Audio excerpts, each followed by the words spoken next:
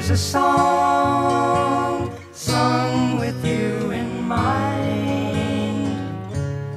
Maybe it will make you think about him one more time. And if you can, please try to understand. Jesus is your.